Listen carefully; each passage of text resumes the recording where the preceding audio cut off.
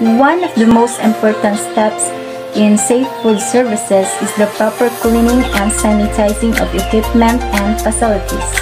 This is Audrey Rose Siga from Betel at HE1 will discuss the step procedure in a proper way of cleaning and sanitizing in range, dishwashing machine, slicer, refrigerator, and sink. Let's move on to the next topic which is the equipment sanitation procedure. Let's start in range.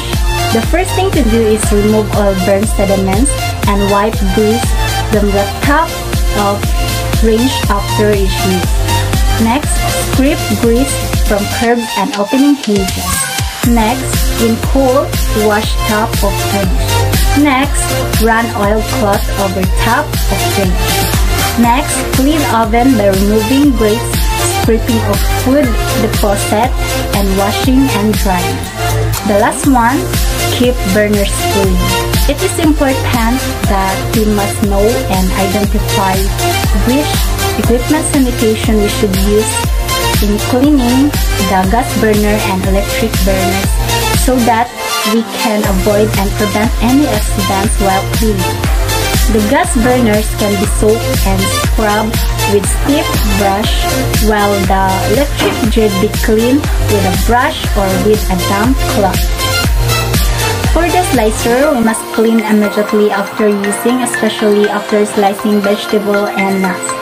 And remove all parts to clean, then dry and cover knives after cleaning with oil damp cloth to prevent accidents while cleaning the slicer.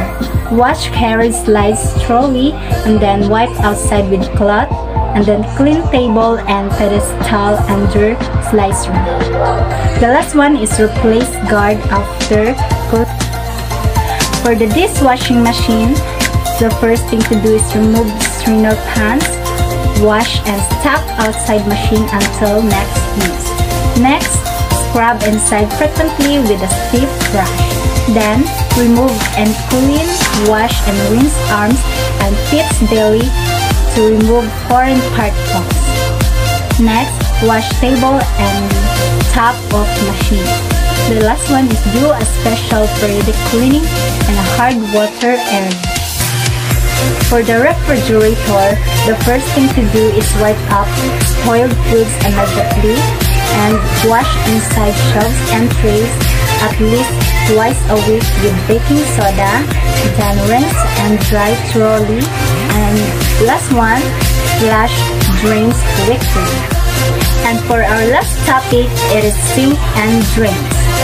The first thing to do is keep outlets clean at all times and flush daily with 1 gallon of solution made up of strong solution soda. Then, clean and replace grease tray regularly. Then, use force pump if drain is slow. And the last one is replace washers immediately on leaking faucet.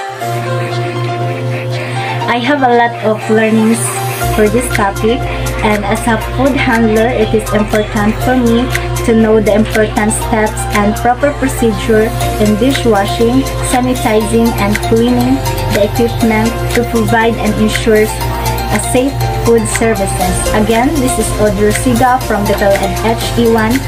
Thank you and have a great day ahead.